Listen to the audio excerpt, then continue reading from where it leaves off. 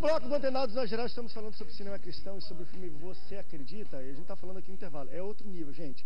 Eu acho que em termos de produção cristã para a evangelização, não com temática bíblica, mas para esse intuito, Focado, né? talvez deva ser um maior lançamento que já tivemos. Um- um dos quais são maiores. os números dele nos Estados Unidos e qual a expectativa, mais ou menos, de público você tem aqui? Então, lá é, ele fez 13, 14 milhões no, no box office, em bilheteria. Fez menos do que o Deus Não Está Morto. O Deus está morto, ele teve toda uma polêmica Deus Não Está Morto. o próprio nome Tudo funcionou. Tudo cooperou. Entendeu? Todo mundo fala lá, é, tipo, o que aconteceu com o Deus Não Está Morto também, assim, fora do normal.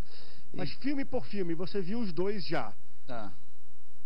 Esse, pelo menos eu, no trailer, eu já falo, cara, esse aqui está um parece, em termos de produção. Não, tudo, produção, patamar bem história. Ali imagina você fazer dentro de duas horas 12 histórias. Você tem vários atores conhecidos. Bem dinâmico, Você- né? Bem dinâmico, é bacana. Então, assim, não tem como comparar um com o outro. Um tinha um propósito, esse é outro propósito. Agora, lá, esse teve menos bilheteria do que o Deus Não Está Morto. Porém, eu acredito realmente que no Brasil esse vai ser uma explosão e vai É, ser, a gente vai tá ser superior. crescimento dessa Vai ser do- do superior. cinema, de filmes que estão lançando e, e- e- crescendo. Talvez os Estados Unidos já tenha um pouco de, de mercado estabelecido, de pessoas Estados Unidos, toda semana, todo mês, um filme. ou quase toda semana você tem a opção de um filme. Só a Então- Sony lançou 12. Então aqui, então o, o Deus não está morto rompeu, rompeu essa barreira, foi um sucesso, teve boa aceitação. Então o povo já está preparado já para receber um bom filme cristão e vai se surpreender porque o investimento foi maior, os atores são outros, a história é outra, a mensagem é outra, então já houve esse rompimento, né? Já rompeu tanto que Metanoia já aproveitou um pouco essa pegada já desse rompante do, do povo Ajudou. cristão para poder ir para um cinema, não só para entretenimento, mas para uma uma temática mais focada e direcionada. Então isso aqui então vai ser, eu creio também que vai ser um sucesso bem maior Agora, do que vai, foi nos Estados Unidos. Uma, uma coisa bacana de se falar, igual quando o Chris Weidman ganhou do Anderson, né? Ele falou, né, foi sorte, vamos ver se esse vai. Daí o cara foi bater, foi sorte, vamos ver, vamos ver. É mais ou menos isso que acontece aí, com né? o exibidor, tipo assim, é, Deus não está morto, foi bom. foi. Vamos ver. Então, ele entra meio que, porque eu tenho falado com os exibidores, e é mais ou menos assim, eles ainda não acreditam. Querem ver para crer, né? Só Crente que vai- a vai- gente vai tem algo que né? ninguém tem. A gente tem é. quantos milhões, bispo, de evangélicos? Só evangélicos. 50 milhões Ah, hoje? no Brasil é muito grande. Então, é. mas vamos, vamos falar de evangélicos. Agora, cristãos, 85% Isso. da nação. Então, é um filme que não fala com o evangélico. Ele fala De com Cristo. cruz, meu A irmão, cruz, de meu o povo de Cristo. Então, tipo assim, a gente tem um potencial enorme que 100 salas é pouco. Eu vou É. ser sincero, se a igreja abraçar, você líder abraçar, a igreja abraçar, vai faltar sala. Não, e assim, o filme, o nome não é Você Acredita e é interrogação, não é exclamação. Então assim, você acredita? Sim, vai pro cinema. Não, vai pro cinema. Não, e o que é interessante, por exemplo, é que a música, por exemplo, entra na minha casa, entra na minha vida, né? Aquela música rompeu, rebentou, estraçalhou portas, é, virou... Chegou em lugares onde Chegou música lugar- cristã, é, evangélica não tinha chegado. entendeu? Então, Pagode assim, de Botequim tava tendo isso. É, exatamente. Por exemplo, quantas pessoas se converteram quando a Baby Consuelo se converteu?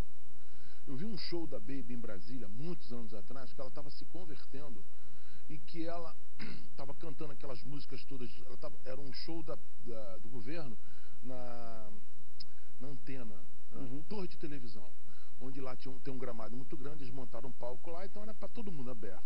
E ela cantou aqueles, aqueles, aqueles sucessos dela todos. No final ela falou assim, eu gostaria que pedir a vocês, porque eu já falei tanta loucura, tanta loucura para vocês, eu já fui do Rá, e vocês acreditaram, vocês foram atrás de mim. E eu quero só cantar uma música agora para vocês. Uma música que agora expressa o que eu creio na minha vida. E cantou um hino. Eu não me lembro qual era o hino, mas aquele hino bem antigo. Cara, foi um chororô. Foi um chororô. Eu vi nego ajoelhado no chão lá, chorando, e ela cantando aquela música. Então você entende o que, que a música pode fazer, o que, que o cinema pode fazer. Nós podemos ter conversões genuínas lá dentro do cinema. Com certeza. pessoas que estavam afastadas, pessoas que estavam esquecidas do Evangelho, né? pessoas que passaram crises, abandonaram a palavra de Deus, podem de repente ter um reencontro com Deus ali. É uma. é- é- eu acho que é o motivo até da gente fazer uma vigília, fazer uma oração, Eu- pedir a Deus, porque que nós estamos lidando com uma sociedade cada vez mais incrédula, cada vez mais resistente ao Evangelho, e agora nós temos uma oportunidade de bater e ser ouvido. Eu lembro, do, do- do- falando essa questão da oportunidade do evangelismo e alcançar pessoas, quando lançaram do Mel Gibson, né, o Paixão de Cristo, eu nunca vi tanta igreja em porta de cinema sair, porque você entra por, às vezes, né, eu morava em Belém do Pará, então você entrava por uma sala, um cinema antigo no meio da cidade, que hoje é tudo a maioria em, em shopping, complexos, né, você entrava por aqui e a porta de saída era por outro local, enfileirava de gente de igreja de saída com panfleto e era gente chorando, não, era a gente sair em prantos, chorando, oração lá mesmo. Eu acho assim, Deus, Deus, o Espírito Santo vai se mover na sala de cinema. Eu tenho certeza Vai, disso. vai, vai- vai virar culto Tenho aquilo. Não é cinema, aquilo vai virar culto. Eu acho que as pessoas que forem assistir, crente ou não, vão, vão ver aquelas histórias, vão se assimilar e o coração vai ficar contrito e não tem jeito. Deus atua, meu irmão, em qualquer É. local. Antes até da gente acabar, estamos no finalzinho do, do, do Antenados na Geral, eu quero botar um pouco da entrevista do ator. É o principal, são 12 histórias, mas ele seria o ator Ele, ele é principal, o o, Te- protagonista. o Ted McKinley, ele deu uma entrevista exclusiva para o Antenados, olha só. I am Ted from the movie Do You Believe? Esse filme está chegando no Brasil em setembro e vocês têm que ver. A pergunta que o filme faz é: você acredita no poder da cruz de Cristo? É a pergunta que eu sempre me faço. E qual o significado que ela tem para mim? Essa é a pergunta que eu faço para vocês também. Vocês acreditam na cruz de Cristo? E o que ela significa para vocês? Do you believe in the cross of Christ? And if so, what does it mean to you? Forte, hein? A gente, a- a- e a gente pontuou isso. O cara que vai assistir. O Eu acredito na cruz.com.br. Eu tava até brincando, mas aqui, ó, até o cara que não acredita, vai ser interessante ele se debater de, você acredita? Não. Então o que, que você faz com isso? Eu falei, é uma provocação, pergunta. é uma boa provocação pra Agora, para nós, o povo de Deus, que crê, que nós acreditamos, se a gente acredita, cremos também no mundo espiritual. E o mundo espiritual rege o natural. Isso existe uma batalha para ser rompida, existe uma batalha a ser rompida, sim. Essa questão de pergunta que a gente faz a si mesmo, e isso também é um rompante para nós, imagina para quem não é. Imagina a barreira que é para poder romper e levar alguém que está não crendo mais na mensagem da cruz. É isso aí. É Olha, isso. só pra gente amarrar então o programa, ó, dia 3 de setembro, nos cinemas. Eu falo de todo o Brasil porque acho que vai estar representado pelo menos as capitais, mas não são em todas as cidades. Existe uma lista de cidades que você encontra no site www.euacreditonacruz.com.br. Se tiver um grupo, uma igreja, alguém que, poxa, aqui tem um grupo grande, queremos ver o filme e não tem na nossa cidade. O que, que faz? Entra em contato com o cinema. Você vai entrar em contato com o cinema, faz barulho, Viu? igreja, Não sei, Os dois vai. filhos de Francisco do Pai, liga pra lá. É vai pro aí. cinema, bate, liga, fala, olha, Entra. traz o filme, traz o filme. É, é esse tipo de, de provocação que o cara fala, ih, cara, tem um pessoal pedindo filme. Precisa, gente é. tem que abrir sala. E, e aí, a igreja, a igreja pode fechar a sala. Perfeito. E dependendo do horário, você consegue aí 10, 15 minutos depois. Então, que é uma estratégia realmente para a Legal. igreja conquistar. Então, dia 3 de setembro é o dia. A ideia é que, se não estiver na sua cidade, entre em contato com os cinemas, mas não adianta uma, duas pessoas. Tem que realmente, como Fecha um igreja. grupo, Fecha igreja, grupo, e olha, vai queria fechar, um- logo. É, queria fechar uma, duas sessões aqui para botar o grupo aqui, três. Isso eu acho que é uma maneira do povo de Deus começar a se mexer. Com E certeza. clicando, né? Cliquezinho.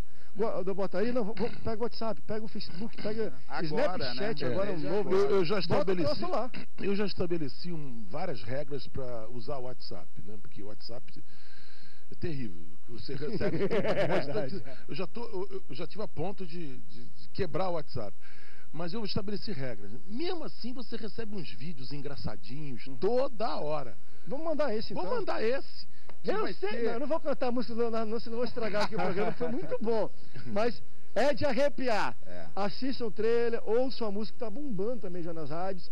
Olha, eu acho que nós estamos Pode diante de uma oportunidade. música na rádio. Estamos diante de uma oportunidade muito interessante de ver os cinemas se tornando locais de adoração a Deus. Já pensou? Isso vai acontecer a partir do dia 3 de setembro. Gente, Amém. obrigado pela presença de vocês aqui Obrigado, no irmão. Obrigado pela presença, seja sempre bem-vindo. Amém. 3 de setembro está marcado com você no cinema, tá bom? Obrigado pela sua audiência.